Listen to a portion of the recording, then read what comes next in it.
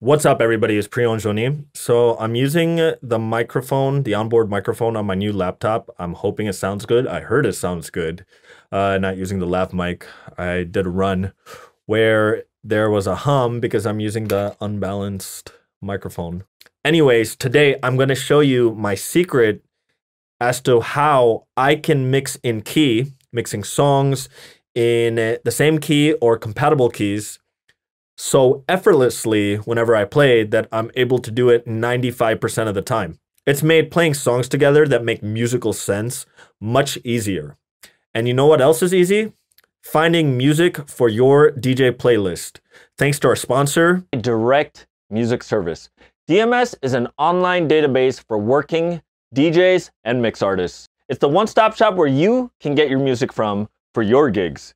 It's a searchable, organized database with thousands of edits, remixes, and different versions of your favorite tracks from many different genres. What's also awesome about Direct Music Service, if you're always on the road just like me, they have this awesome mobile app so that you can search your favorite tunes, put them on a wish list, and they'll be ready for you on your Dropbox folder when you get home. You can now save some money and get a discount using one of these two coupon codes. Use the code PJ Monthly and get 30% off your first month off any monthly subscription. Use the coupon code PJ Yearly and get 10% off your entire first year of any yearly subscription. Go to directmusicservice.com today to sign up. I wanted to try a cheesy Linus segue, and I'm probably never doing that again. Anyways, when I talk to a lot of people and ask them, hey, do you ever mix in keys since Serato DJ analyzes the key and you can tell what key your songs are. Do you ever mix in key? And I get a lot of reasons from people where they say, no, I don't mix in key. I want to focus on the songs that I'm playing on.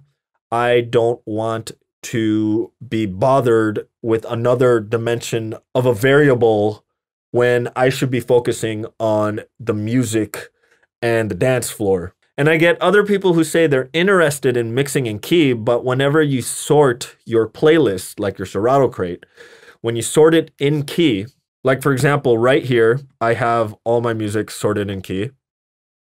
And when you look down the BPMs, they're all in a weird order. The song orders are different, and uh, it looks like it does it by artist. So eight years ago, I developed this method, and I'm not saying I'm the first person to do it. I just never learned this from anyone else when it was still only Serato Scratch Live. There was no key analysis tool, but I already was I was already in the practice of listening to every single song I download and typing in the key value. I know you can use software like Mixed in Key to do that, but I found that doing it manually by ear gave me less mistakes. Even today, Serato DJ doesn't get all the keying perfectly. I say it's perfect about 80% of the time.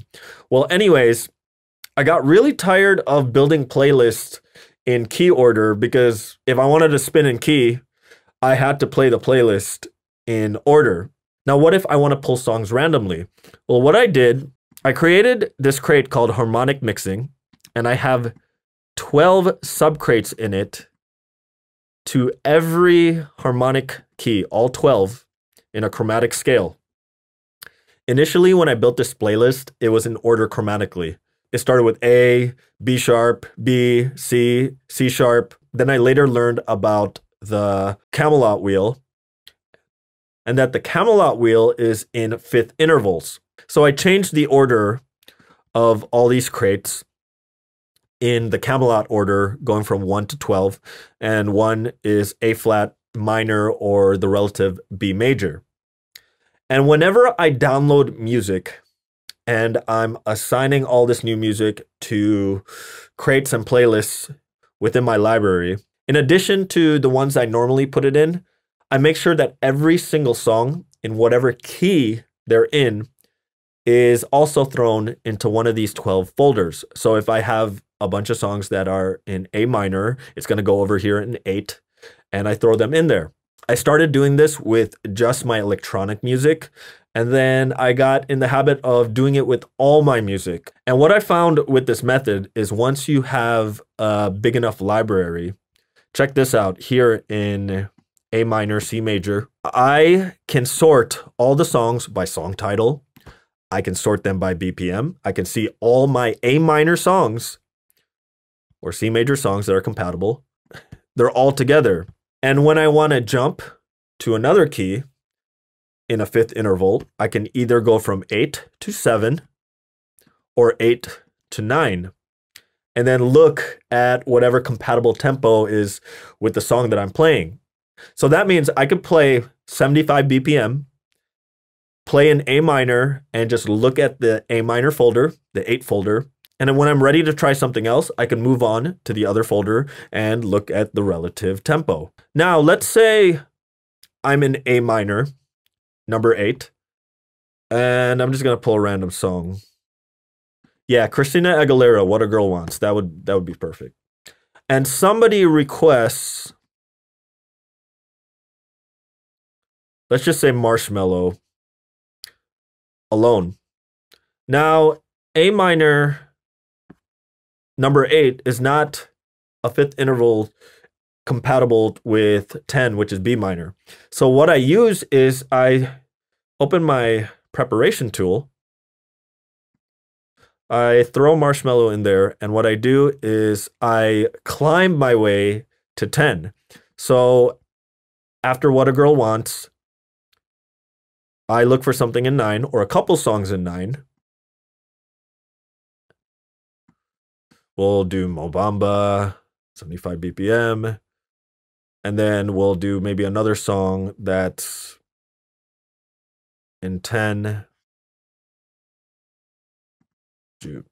as the rush comes by motorcycle.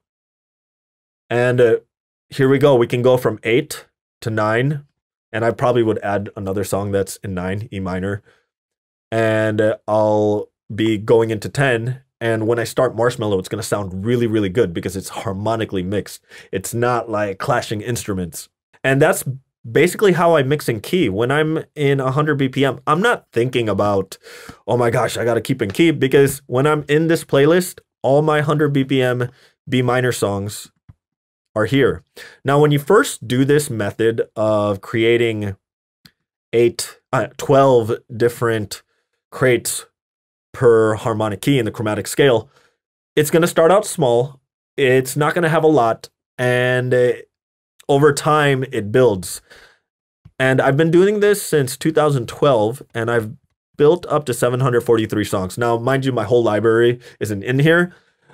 The majority of my library since 2012 is in here. And that's not saying a lot for my song download because I've only had 743 songs. And a lot of them are like clean version, dirty version. So I probably have about 400 songs in there. But 400 is a good count. So whenever I'm within a key family and a tempo family, I have more than enough to jump around the keys in fifth intervals, according to the Camelot wheel. And I basically play in key anywhere between 90% to maybe even 100% of the night. When I have an electronic music night, I play 100% in key. I don't think about it too much when I'm playing in key because I can just browse and check out what I got. And when you're used to doing that, you start developing the habit of knowing what songs are in what key. So your mind starts thinking about what song you're going to play next within that same key. Now, an extra thing I did is I matched the color of the keys along with the color blocks on the left. Totally optional, but I like to keep it in color. I know that 2 is green. I know that 8 and 9 are both purple. I know 10 is blue. Uh, 11 is blue as well. And I think 12 is blue as well. Yep, a tealish blue. One is kind of a green, two is kind of a green, three is kind of a green yellow pea color. Four is a yellow color, five is an orangey color, six is an even more orangey color. See, like I, I, have this all memorized. And over time, when you mix in key long enough, you start remembering the keys. Like without looking at the screen, two is D sharp minor, Four is F minor, 11 is F sharp minor, 12 is C sharp minor. Number three, I always forget, three is B flat minor. So basically, when I download a song, I get it analyzed. When I first did this on Scratch Live, I went one by one with every song with a piano and figured out what the key is. I don't just take Serato's word for it when it comes to my grid spacing, when it comes to my tempo value, and when it comes to the key.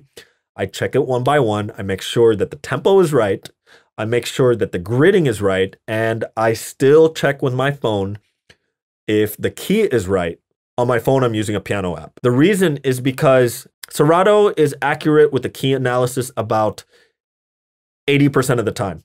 And when it's wrong, it's actually wrong with a compatible key. Say there was a song that was G minor, Serato might spit it out as C minor or D minor.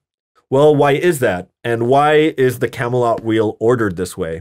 Well, the reason why the Camelot wheel is ordered in the way it is, it's in fifth intervals. Fifth intervals are two different scales that have the most notes that are the same.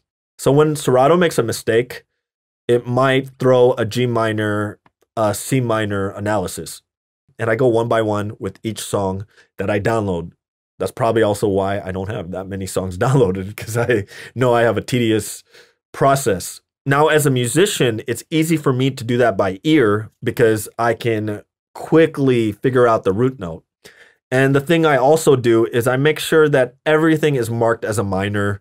If something is B flat major, I mark it as a minor. So that way, when I see these, it's always 6A, it's bright, it's orange. Unless you guys can tell me a good reason why I should be marking my majors, I mark everything as a minor. If something is a major, I always mark it as its relative minor. Now, I know that not everybody can do the piano thing by ear. So the easy way to go, just make sure to throw it in the appropriate folder. But if you want to be more accurate with it and you don't know how to figure out the key using a piano app by ear, you can also just take the song, if it's a well-known song, and just look up what the key is. And if it shows a major, just use its relative minor. So once I got that done, I throw the songs into the harmonic mixing crates. And I titled these 1 through 12, and it starts with the minor and the relative major. So that way I can easily see what they are. And it also tells me, it's a reminder to me, two is a D sharp minor, six is a G minor. And if I have a song that I looked up and it's G sharp major, I know that's F minor.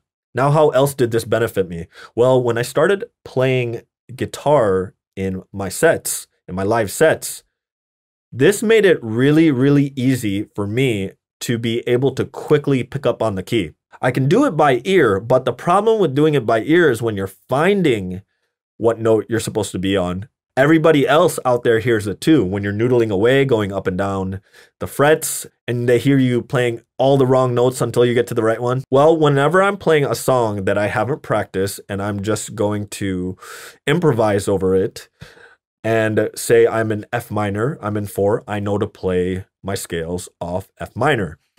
And uh, if I'm playing with another DJ and I can see his screen and he has a song that's 2A, I know to get on D sharp minor. Now, mind you, if I'm playing with another DJ, I also have to keep in mind that there is a 20% chance that his key analysis is wrong. But in a nutshell, having this system of organizing my crates has made it easier for me to be able to mix and key 90 to 100% of the time, depending on what I'm playing, and be able to play a musical instrument when I'm playing live. I don't have to worry about sorting the tempo because I can sort the tempo within one key folder.